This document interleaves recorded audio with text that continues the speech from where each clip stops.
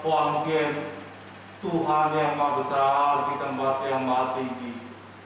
Dengan bimbingan Nabi Tongzi dipermuliakanlah. Puji syukur kami panjatkan saat ini atas rahmat Tian yang telah memberi kami kesempatan, waktu dan kesehatan sehingga dapat berhimpun di dalam gerbang kebajikan suci ini untuk melaksanakan sembahyang Tiong Chiu. Mendengar firman Huang Tian yang terpancar melalui sabda Nabi Kongzi, seperti yang tersurat dan tersirat di dalam kitab Wuji dan Sesu.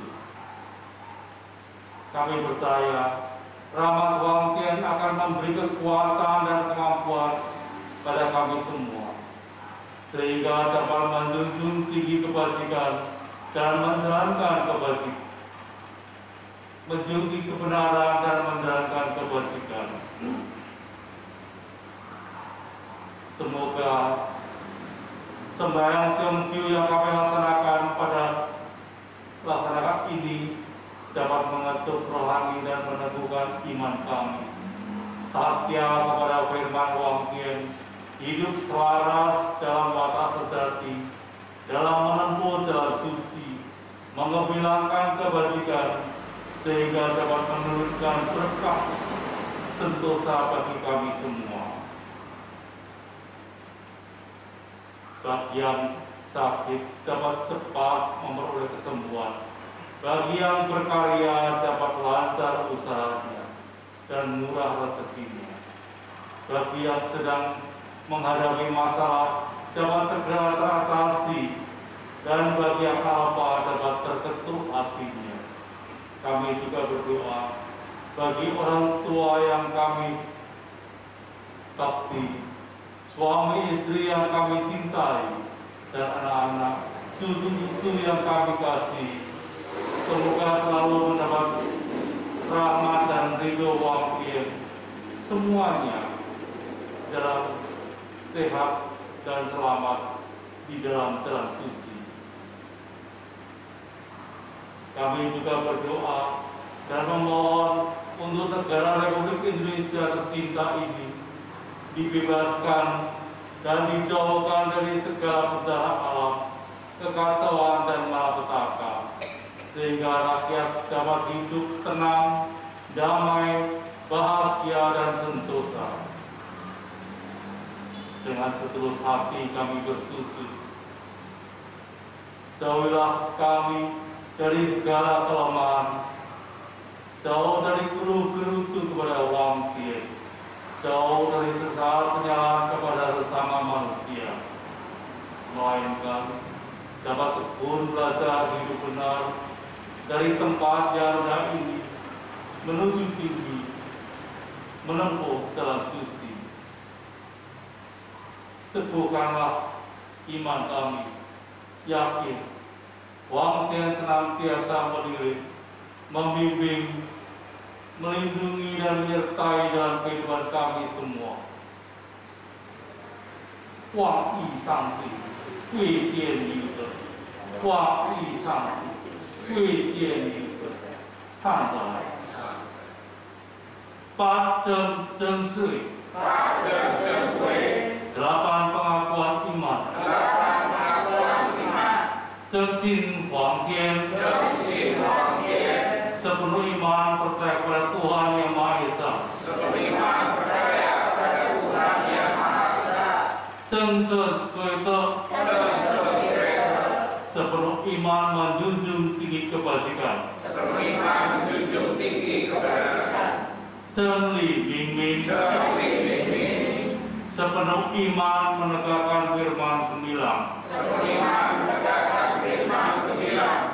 真知归身， 正正为生， sepenuh iman menyadari adanya nyawa dan roh, beriman menyadari adanya nyawa dan roh, 真yang xiao zhe, 这样消失， sepenuh iman memupuk cita berbakti, beriman memupuk cita berbakti, 真顺无多， 正顺无多。 sepenuh iman mengikuti gentar rohani Nabi Kongju, Menerima mengikuti Nabi Su. Ceng Sepenuh iman memuliakan kita Bujing dan Sesu. Sepenuh iman memuliakan kitab dan Sesu.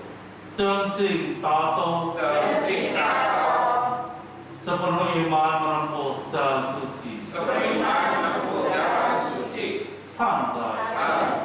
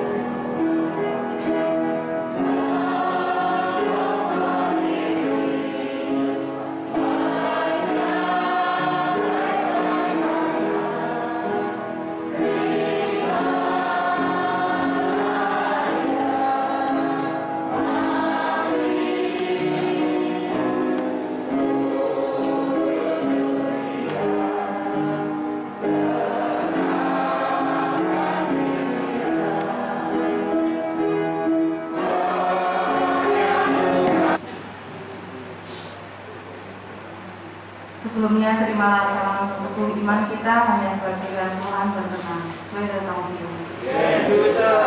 Santai. Makna sembahyang Pyeongju Tanggal 15 bulan 8 Imlek bertepatan dengan hari ini Selasa 21 September 2021 adalah saat bulan purnama di pertengahan musim rontok atau gugur di belahan bumi bagian utara. Saat itu cuaca sangat cerah dan bulan bersinar cemerlang. Para petani sibuk serta gembira berada di tengah musim panen. Maka musim saat itu dihayati sebagai saat penuh berkah dari Tuhan Yang Maha Esa lewat bumi yang menghasilkan berbagai biji-bijian dan buah-buahan. Pada saat purnama yang cemerlang itu, dilaksanakan sembahyang besar kepada Hok Sin atau Dewa Bumi. Sebagai pernyataan syukur dengan sesajian khas kue dari beras ketan berbentuk bulat yang disebut Yeongjupia atau kue bulan atau kue pertengahan musim rontok yang melukiskan bulat dan cemerlangnya rembulan. Dalam agama Konghucu ada empat hari khusus untuk melakukan sembahyang kepada Wang Tuhan Yang Maha Esa, yaitu yang pertama sembahyang saat musim semi atau sembahyang Kintikong yang dilaksanakan setiap tanggal 8 malam bulan 1 Imlek atau sesudah tahun baru Imlek. Yang kedua, sembahyang saat musim panas atau sembahyang Tuan Yang atau Pekjun. Dilaksanakan setiap tanggal 5 bulan 5 Imlek pada siang hari. Biasanya dilaksanakan di tepi laut atau sungai atau danau. Yang ketiga, sembahyang saat musim gugur atau sembahyang Pyeongju atau sembahyang purnama raya seperti saat ini dilaksanakan setiap tanggal 15 bulan 8 Imlek. Yang keempat, saat pertengahan musim dingin atau sembahyang Tangcik dilaksanakan setiap tanggal 22 Desember pada malam hari khusus untuk Tangcik atau Tangcik dan Cengbing atau sembahyang sadranan pelaksanaannya menggunakan kalender. Bulan seperti juga bumi melambangkan Taim atau sifat negatif yang maha besar. Maka selain melambangkan bulan, Yongsyupya juga melambangkan Hoktek Jibsin atau Dewa Bumi yang menjadi perantara Tuhan sebagai perawat dan pemelihara bumi sehingga sembahyang Yongju juga dilakukan sebagai penghormatan dan terima kasih kepada Dewa Bumi. Hendaknya dihayati makna yang tersirat dari nama dewa bumi, yaitu Bob atau berkah dan atau kebajikan. Maka bila kita selalu menjunjung tinggi kebajikan, berperilaku sesuai kebajikan, berkah atau rezeki akan melimpah dalam hidup ini. Selain itu, sembahyang Tiongju juga dikaitkan dengan legenda tentang Hoi, sang pemanah, dan Sang E, Dewi Bulan. Tradisi dua tokoh dari mitologi cerita Cina pada sekitar 2200 tahun sebelum Masehi pada masa pemerintahan Kaisar Liao.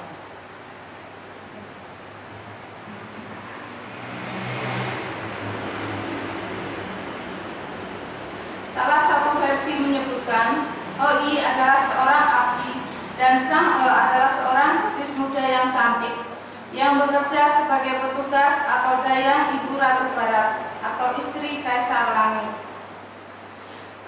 Prestasi Hoi yang sangat disayang oleh Ibu Ratu Barat membangkitkan kecemburuan abdi lainnya yang kemudian memfitnah dia di hadapan Kaisar Langit. Hoi dan istrinya Chang E kemudian dibuang dari langit. Mereka dipaksa untuk hidup di bumi. Hoi harus berburu untuk bertahan hidup dan menjadi seorang pemanah yang terampil dan terkenal. Dikisahkan saat itu ada sepuluh burung matahari yang bertempat tinggal di pohon murpei di laut timur. Setiap hari salah satu burung matahari diharuskan melakukan perjalanan menggunakan kereta yang didorong oleh Sihe, sang ibunda dari burung matahari. Suatu hari sepuluh burung matahari itu berputar bersama-sama menyebabkan bumi terbakar hebat. Kaisar Liao sangat marah lalu memerintahkan Hoi untuk memanah dan menembak jatuh semuanya dan hanya disisakan satu dari burung matahari tersebut.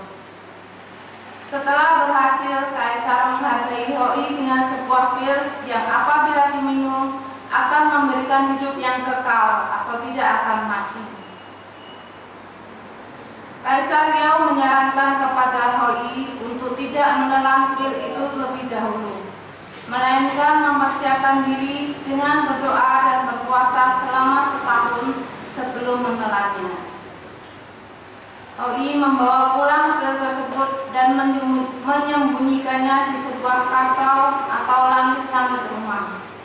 Suatu hari, Oi dipanggil menghadap oleh Kaisar Liao.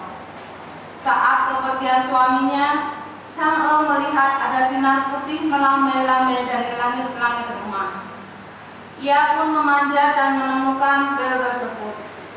Tanpa ragu, Chang E segera menelannya dan akibatnya ia pun bisa terbang. Saat Hoi pulang, menyadari apa yang terjadi, dia menegur istrinya. Chang E yang merasa bersalah melarikan diri dengan terbang keluar jendela menuju langit. Hoi mengejarnya melintasi setengah langit, namun terpaksa kembali ke bumi karena angin sangat kencang. Chang'e mencapai bulan, di mana saat dia batuk, sebagian dari pil terlontar atau terbuang keluar. Chang'e memerintahkan kelinci yang tinggal di bulan untuk membuat pil lain, karena ia berharap untuk dapat kembali ke bumi dan bertemu kembali dengan suaminya. Legenda menyatakan bahwa kelinci masih mencoba untuk membuat pil tetapi tidak pernah berhasil. Oi pun membangun sebuah istana di bawah sinar matahari yang mewakili unsur yang atau prinsip laki-laki. Berbeda dengan rumah Chang'e yang ada di bulan yang mewakili unsur im atau prinsip perempuan. Sekali dalam setahun, yaitu pada malam Tiongqiu, Oi dapat pergi terbang mengunjungi istrinya. Maka itulah sebabnya mengapa setiap kulit Sabko seperti malam ini bulan bersinar sangat cemerlang. Langit terlihat cerah dan angin bertiup sejuk semilir. Di bulan seakan terlihat ada lukisan Hoi, Chang'o, dan si kelinci sedang berkumpul bersama. Terlepas dari cerita itu, sembahyang Yeonju mengingatkan kita untuk tidak pernah lupa melaksanakan sujud dan sembahyang kepada Tuhan Yang Maha Esa. Yong bab 15 mengatakan, Sungguh maha besar kebajikan puisin Tuhan yang maha roh itu. Dilihat tiada tampak, didengar tidak terdengar, namun tiap wujud tiada yang tanpa dia. Menjadikan manusia di dunia wajib berpuasa, membersihkan hati, mengenakan pakaian lengkap untuk sujud bersembahyang kepadanya. Adapun kenyataan Tuhan yang Maha Roh itu tidak boleh diperkirakan, lebih-lebih ditetapkan. Maka sungguh halus sifatnya sehingga terasakan seperti di atas dan di kanan kiri. Demikianlah makna sembahyang Kyoju yang kita laksanakan malam hari ini. Terima kembali sahabat kita hanya kebajikan Tuhan berkenan. Beda dong.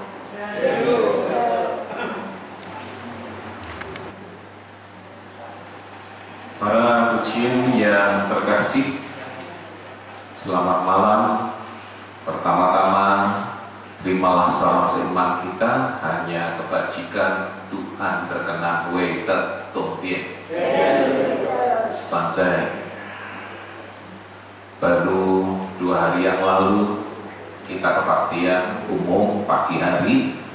Malam hari ini bertepatan dengan Pekwi Capgo kita melaksanakan sembahyang Tiongju atau sembahyang pertengahan musim gugur. Tadi kita telah mendengar makna daripada sembahyang Tiongju yang telah dibacakan oleh Johnson Luisian di mana kalau kita lihat YouTube dari kemarin sampai hari ini banyak memuat atau memberitakan tentang Pyongju tetapi yang bukan umat Konghucu yang lebih diutamakan adalah masalah Pyongjubianya kue bulannya dewi bulannya sedangkan kita yang orang Konghucu tadi telah dibacakan oleh Johnson Lucia karena agama kita itu berasal dari daratan Tiongkok, di mana di sana ada empat musim. Setiap musim kita punya kewajiban untuk berdoa atau bersembahyang kepada Tuhan. Dan seperti yang saya sampaikan khutbah hari Minggu yang lalu, agama Konghucu itu hebat. Agama Konghucu itu keren dan menarik karena di tiap upacara sembahyang kepada dia kita punya sajian khusus yang di agama lain tidak ada.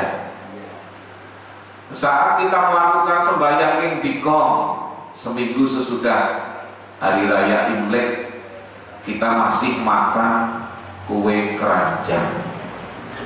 Agama lain tidak ada. Ketika kita melakukan sembahyang pada musim panas dengan sembahyang Tuan atau perayaan Pekjun, kita punya sajian khas namanya bakca. Agama ada. Malam hari ini kita melakukan upacara sembahyang Tiongju. Kita punya sajian khas Tiongju Pia. Dan nanti pada bulan Desember kita melakukan sembahyang tamcik sajian khasnya medang rundi nah, malah sekarang e, saat setengah bulan sesudah imlek ada sajian namanya lontong cap gomek padahal lontongnya lontong biasa. Lontong Jawa. Ada opornya.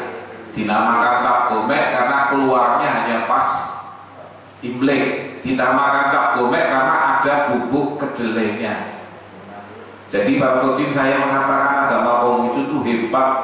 Agama Konghucu luar biasa kalau pas sembahyang Tuhan ya kita bisa mendirikan telur. Malam hari ini harusnya kita melihat keluar rembulan bersinar cerah bulan bulan sekali. Tapi tadi saya agak khawatir maka saya nulis di Facebook Tiongju kok mendung? Nggak tahu ini memang cuacanya berbeda nah Toji. Di dalam upacara sembahyang Tiongju menikmati kue bulan itu yang nomor dua. Karena memang ada sesajinya ya sesaji itu harus dinikmati. Tapi yang paling utama bagi kita umat Konghucu adalah sembahyangnya kepada Tuhan. Bukan makan kue bulannya kue keranjang ya bukan kue keranjangnya tapi sembahyang king bikongnya bacang ya bacangnya nomor dua sembahyangnya yang nomor satu. Maka hari ini saya berterima kasih dibantu Joseph Dian yang nanti akan memimpin penaikan surat doa. Semoga doa kita Tuhan berkenan mendengar. Nah Tojin tadi juga diambil sedikit potongan atau ayat yang ada di kitab Coryong bab 15 Tuhan dalam agama Konghucu itu bagaimana? Tuhan itu sifatnya maharoh tidak bisa dilihat tidak bisa didengar. Kalau ada Tuhan yang bisa didengar bahkan dilihat itu berarti Tuhan Tuhanan ada yang kedua para tojin ya, kekuasaan Tuhan itu luar biasa sehingga terasakan di atas dan di kanan kiri kita tidak boleh dibawa Dikatakan lagi syaratnya bersembahyang kepada Tuhan itu apa? Mengenakan pakaian lengkap. Artinya pakaian lengkap itu ya pakaian yang sopan kalau kita sembahyang kepada Tuhan. Maka agama Konghucu punya pakaian sembahyang sendiri yang malam hari ini Tujuh bisa lihat dipakai oleh Pak Dian dan kedua pendampingnya Kemudian ketika akan melakukan sembahyang kepada Tuhan, syarat yang paling utama adalah kita harus berpuasa membersihkan hati. Bukan puasa seperti teman kita mengganti jam makan atau bahkan tidak makan, tapi dalam agama Konghucu khususnya kitab Chongyo pasal 15 berpuasa itu membersihkan hati jadi kalau mau sembahyang pada Tuhan jangan punya pikiran yang kotor, jangan punya hati yang iri, jangan punya yang tidak baik. Karena Tuhan itu maha mendengar. Maka tadi yang paling utama agama Konghucu mengatakan sifat Tuhan, Tuhannya Konghucu itu tidak bisa dikira-kira oh kayak begini. Lebih-lebih ditetapkan Oh Tuhan itu pasti rambutnya gondrong, punya jenggot, punya kumis yang panjang. Tidak tahu Tuhan itu kayak apa, tidak tahu. Tapi kita bisa merasakan Tuhan itu ada dalam kehidupan kita. Terus kalau mengikuti perkembangan zaman, jongkok itu sekarang luar biasa. Kalau tadi cerita zaman dinasti e, Raja Yao atau Yao itu matahari saja 10 sekarang cungkok bisa buat matahari. Walaupun sinarnya terbatas hanya radius berapa ratus kilometer Cungkok bisa? Ini sudah mencoba untuk menghidupkan orang yang mati tapi untuk satu kepentingan. Yang belum waktunya mati ya karena beberapa alasan dihidupkan sudah bisa. Nah kalau itu dikaitkan dengan agama oh ini menantang Gusti Allah menentang Tuhan. Tuhan tidak ada artinya. Padahal tuh kalau kita mau jujur ya Tuhan itu yang menciptakan manusia Adanya Tuhan itu karena adanya manusia. Coba kecil lihat ayam, nggak kenal Tuhan. Kecil lihat burung, nggak kenal Tuhan.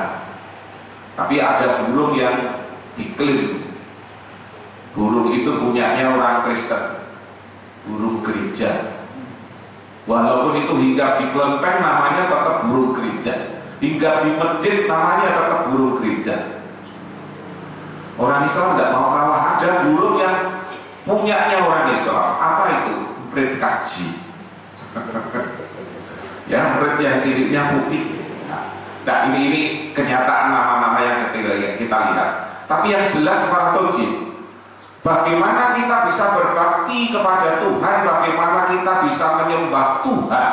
Tuhan itu tidak kelihatan, Tuhan itu maha gaib. Maka praktek untuk bisa melakukan itu bagaimana dalam hidup ini kita bisa menghormati manusia kita bisa menghargai orang lain kita bisa berbakti kepada leluhur kita maka kalau saya mengatakan Tuhan itu tidak kelihatan Tuhan itu maha gaib tetapi Tuhan yang kelihatan adalah orang tua kita kalau kepada orang tua saja nggak bisa berbakti. Ketika kita tanya kepada papa mamanya anak upir, oh bujan. Bagaimana bisa berbakti pada Tuhan? Maka agama Kongcu mengatakan hormat menjalankan firman-Nya. Ya saat ini saya jadi pengkhotbah difirmankan Tuhan naik di atas mimbar memberikan khotbah dalam rangkaian sembahyang Tiongju. Bagaimana saya menjalankan tugas saya? Saya ngomong, saya menjelaskan, Anda mendengarkan dan mandok-mandok berarti cocok. Nanti saya selesai dari upacara ini, pulang ke rumah kumpul dengan istri saya. Peran saya ganti jadi suami. Suami yang baik bagaimana? Tanya istrinya. Bapakmu piye Oh, bagus. Nah, harusnya begitu. Jadi istri ya begitu. Jangan jadi istri ketika suaminya ditanya, wah istriku tuh cerewet gini gini gini. Nah, memang namanya perempuan itu beda dengan laki-laki. Nah, Tocin, oleh karena itu kembali kepada makna dari sembahyang Byongju malam hari ini kita akan berdoa kepada Tuhan walaupun kita tidak tinggal di Cungkwo di sini tidak ada musim gugur adanya musim panas dan musim hujan tapi yang penting itu bukan musim, uh, musim gugurnya namun doanya.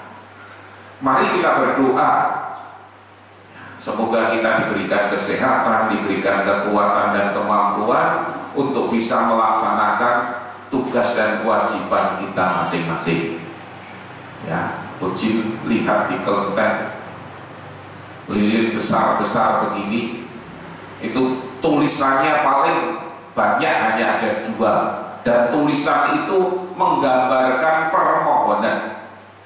Lilin yang sebelah sana biasanya tulisannya hejabi'ah rumah tangga harmonis keselamatan datang. Yang sebelah sini biasanya tulisannya wan serui wan itu cepat jadi puluhan ribu kebahagiaan ya masalah semuanya berjalan dengan lancar. Itu yang kita inginkan.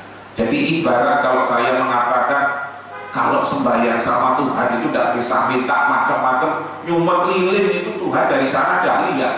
Oh si dijaluk nungguin tak kayak ya, kalau kita berusaha jangan minta tok.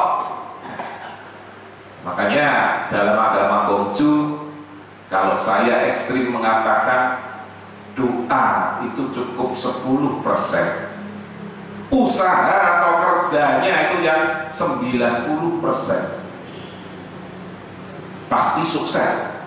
Tapi kalau dibalik doanya 90% kerjanya cuma 10% yang sukses jadi dukun pinter doa dok reso popo Nah, Tojim mesti juga masih ingat sebuah lagu Hokian judulnya Aipia Jiateya.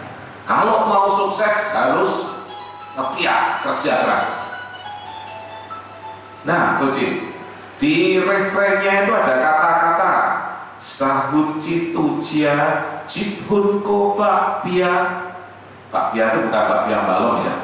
Aibia ya. Sahun 3% keberhasilan kita di tangan Tuhan. Tapi yang jibun 7% itu hasil kerja kita sendiri. Maka saya mengatakan kerja usaha itu yang nomor satu. Jangan hanya berdoa tapi malam hari ini kita tidak usah mikir kerja tidak usah mikir usaha karena kita siap untuk melakukan sembahyang bagaimana hati kita ini berbicara memohon kepada Tuhan khususnya negara kita ini segera bebas dari COVID-19 ya para puji jangan ngomong COVID itu tidak ada. Nyatanya hari ini saja yang meninggal masih lebih dari 500 orang. Tadi saya baca TV yang terpapar corona masih 5000 lebih. Walaupun kita sudah level 3 saya berapa hari yang lalu rapat dengan Mas Wali sebentar lagi Solo level 2 kalau kita mematuhi protokol kesehatan. Itu Cin lihat sendiri covid itu bahayanya kayak apa? Nggak tahu apa-apa tahu-tahu meninggal. Dan tadi ketika saya diminta bantu Stephen dan Carlina hari ini berbahagia mereka sudah resmi lamaran. Belum menikah tadi temannya Stephen semeja dengan saya jadi Eko saya tanya ini acara Eko pernikahan banyak ada oh kemarin itu sempat ada tapi orang menikah resepsi pernikahan di masa sekarang tidak nyaman. Tidak boleh manggil tamu banyak-banyak. Bahkan tahun yang lalu masih ganas-ganasnya covid.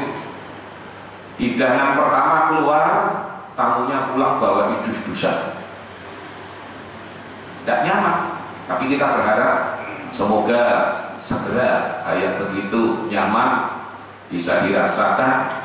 Nanti kalau Stephen menikah 4 jam tidak apa-apa. Sekarang setengah jam satu jam harus bubar besok bisa ya para pecin. Mungkin itu saja yang saya sampaikan malam hari ini sebagai pengantar. Kita nanti akan menaikkan doa. Semoga apa yang saya sampaikan berkenan. Kalau ada kata yang salah mohon maaf. Terimalah salam seiman kita kembali. Wei te tong bien saja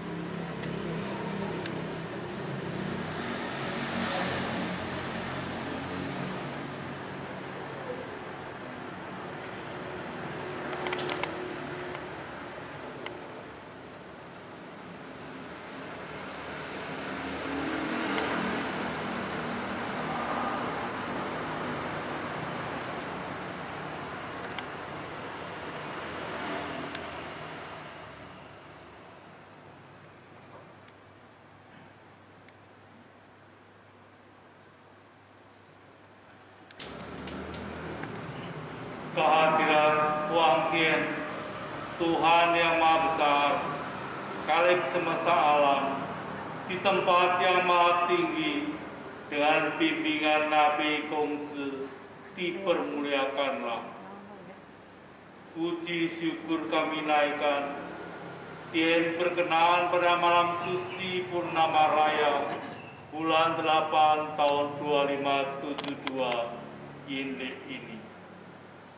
Kami berhimpun bersama di lidang suci ini untuk melaksanakan ibadah sembahyang Tungju. Mensyukuri segenap rahmat dan karunia yang telah Tien limpahkan bagi kehidupan makhluk di dunia ini. Tuang Tien, Tuhan yang Maha Esa, telah menciptakan alam semesta serta melengkapi dengan menjelmakan makhluk sehingga genaplah sancai tiga dasar kenyataan Tien Tuhan yang Maha Esa sebagai kalian yang wajib kita hormat satya, bakti, dan susuti. Di bumi semesta alam tempat kami hidup sebagai ciptaan Tien yang mewujudkan kemahakuasaan, kemahabesaran, dan maha Tuhan. Serta Ren, insan manusia, insan ciptaan Tuhan sebagai yang terluhur di antara semua makhluk yang ada di muka bumi ini yang sesuai dengan watak sejatinya mengemban firman Tuhan di dalam hidupnya sehingga boleh berkembang kebajikan pancaran kasih kemuliaan dia sembah dan sujud kami panjatkan pada malam suci ini. Berkenan dia menerimanya. Semoga meneguhkan iman dan satya kami untuk selalu menghayati firman Tuhan. Yang menjadi watak sejati kodrat kemanusiaan kami dan mengamalkannya yakni sadar untuk selalu berusaha hidup di dalam jalan suci tenggang rasa tepat sarira kepada sesama dan memahami peranan agama sebagai pembimbing di jalan suci sehingga rahmat sentosa sukses dan bahagia boleh meliputi seluruh penghidupan kami. Diberkenan pula kami naikkan sembaran sujud untuk yang kami hormati. Untuk Johnson, Otu, Dewa Bumi yang selalu menjadi perawat bagi kehidupan di alam semesta ini di hadapan yang mulia Dewa Bumi Putu Jengsun. Kami naikkan hormat dan terima kasih atas segenap perawatan dan berkah yang diberikan atas kehidupan bagi segenap makhluk di bumi ini. Penghormatan ini kiranya boleh menjadi pendorong bagi kami untuk selalu berperilaku luhur dan mulia sesuai firman Tien. Dan seperti yang dilambangkan dengan nama yang mulia, bahwa kebahagiaan, rahmat, fu, dan kebajikan te adalah merupakan kesatuan dan kemanunggalan yang tak terpisahkan. dalam ketulusan hati dan kesucian batin, penuh kekwiparan kami naikkan doa dan harap kepada kehadiran Huang Tie berkenaan kiranya menguraikan keteguhan iman, kecerahan batin, kesehatan, kekuatan, dan kemampuan kepada kami semua yang hadir di sini khususnya juga untuk keluarga yang sangat kami kasih, umat, teman, sahabat, dan seluruh warga Surakarta pada umumnya.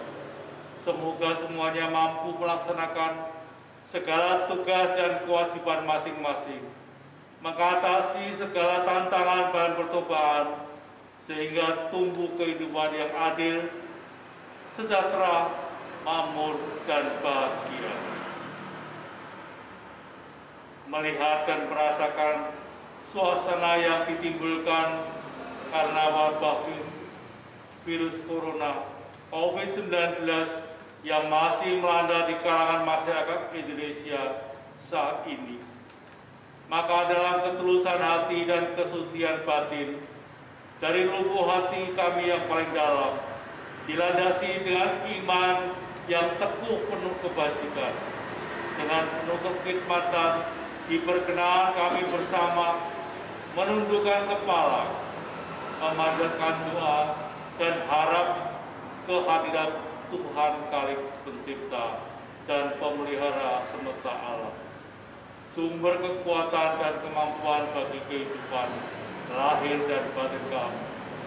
Tuhan yang Maha Kuasa, yang Maha segalanya, untuk berkenan memberi kekuatan dan kemampuan kepada kami semua, kepada para medis, dokter, serta perawat yang bertugas, serta para pejabat, pemimpin daerah sehingga bersama-sama dapat mengatasi dan melenyapkan wabah virus corona COVID-19 ini dari negara kami, menjauhkan segala derita bangsa kami, memberikan kesehatan sehingga penderitaan ini segera berakhir dan masyarakat dapat sehat dan serta kembali beraktivitas seperti semula.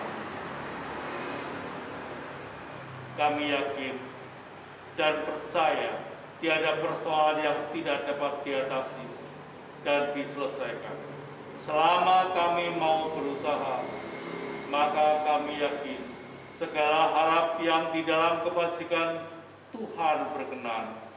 Segala doa, harapan, dan keinginan yang tulus suci ini Tuhan akan mengabulkannya.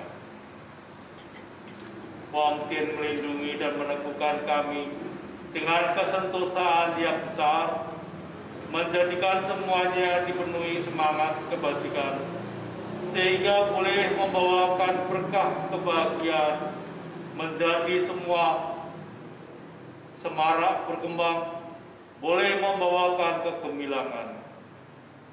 Wangkir melindungi dan meneguhkan kami semua.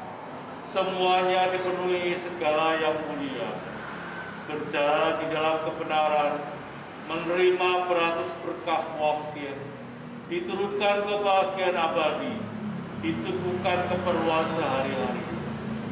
Wangkir melindungi dan meneguhkan kami semuanya semara berkembang, bagai gunung dan pegunungan, bagai bukit dan perbukitan, bagai aliran air pengawan yang senantiasa berjalan melaju. Dipilih hari dan tempat, disiapkan semuanya ini sebagai pewujudan bakti dan dilaksanakan puja dan sembahyang untuk keinginan yang suci ini Maha Pemilang firman Tiet, kekal abadi tanpa batas. Bagai bulan menuju penuh, bagai matahari menuju naik, bagai gunung selatan yang abadi, tak pernah pudar dan gugur, bagai pohon song dan mo yang senantiasa menghijau. Demikianlah yang kami harapkan dipermuliakan. Dengan sepenuh hati kami bersuci, dengan sepenuh kebajikan di dalam hati, kami berdoa, dipermuliakanlah. Puji dan syukur kehadirat Huang Tien, dijauhkanlah hati kami dari kelemahan, dari keluh gerutu kepada Tien, dari sesal penyalaan kepada sesama manusia. Karuniakanlah kepada kami untuk senantiasa mampu tekun belajar hidup benar dari tempat yang rendah ini terus maju menuju tinggi menempuh jalan suci.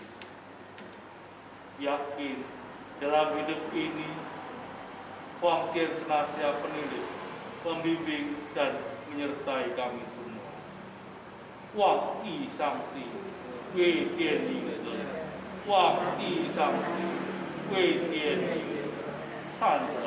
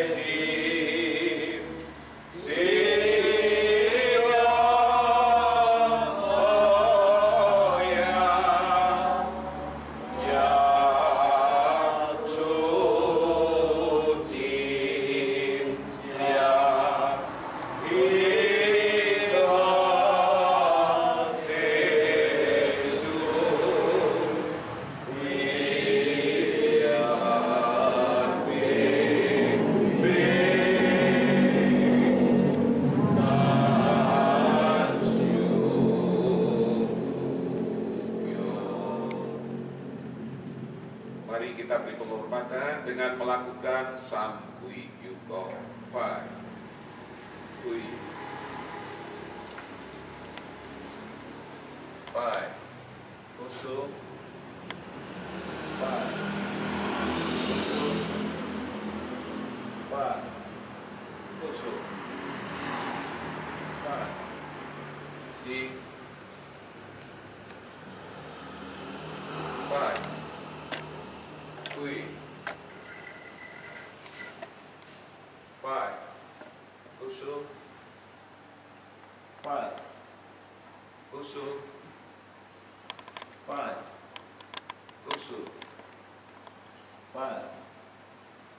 See? Five. Queen. Five. Also. Five. Also. Five. Also. Five. Ya, masuk ke dalam.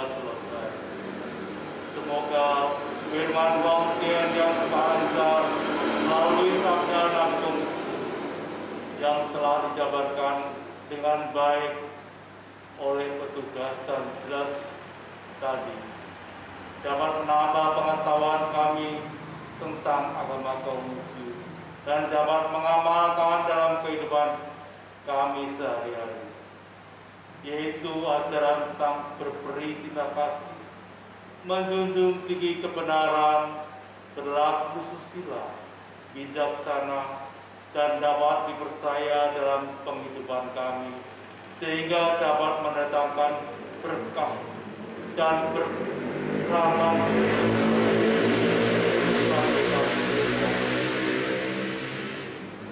Sebentar lagi kami akan pulang ke rumah masing-masing. Semoga Allah melindungi dalam perjalanan dan membimbing kami sampai tujuan dengan selamat. Hanya dalam kebajikan yang berkembang meramah santai.